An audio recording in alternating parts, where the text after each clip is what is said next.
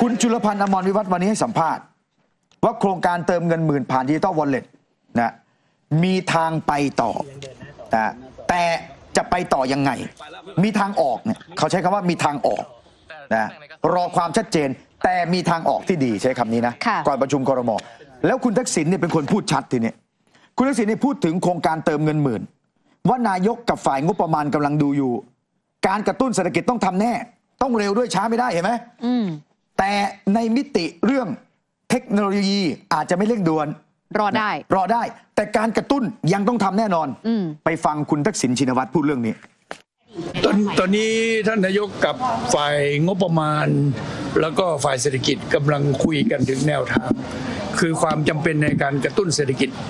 ต้องมีแน่นอนแล้วต้องทำอย่างเร็วช้าไม่ได้ เพราะเศรษฐกิจมันไหลลงเวลยิ่งไหลลงลึกเท่าไหร่ดึงขึ้นมายากเท่านั้นเพ ราะฉะนั้นเนี่ยก็ท่านนายกก็กำลัง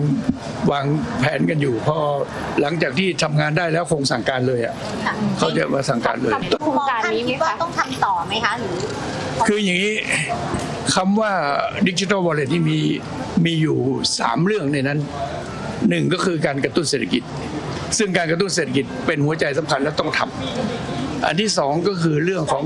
การให้ประชาชนได้มีโอกาสเรียนรู้ทางเทคโนโลยี เพื่อจะใช้ประโยชน์ในโอกาสต่อไปข้างหน้า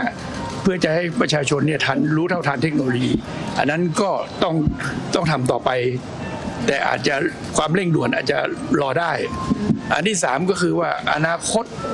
ดิจิทัลวอลเล็ตเมื่อวางไว้แล้วเนี่ยจะสามารถใช้ประโยชน์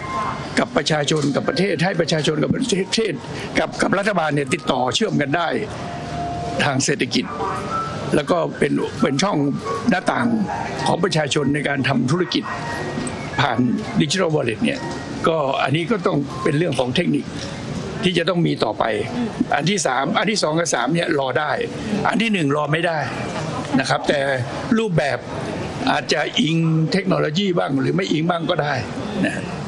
แต่ต้องแต่ต้องถูกกฎหมาย แล้วไม่ให้ขัดแย้งกับ คนที่ต่ออ่าเห็นต่างเยอะเกินไป โครงการนี้ เห็นไหมต้องทำต่อไหมอ่าเพราะฉะนั้น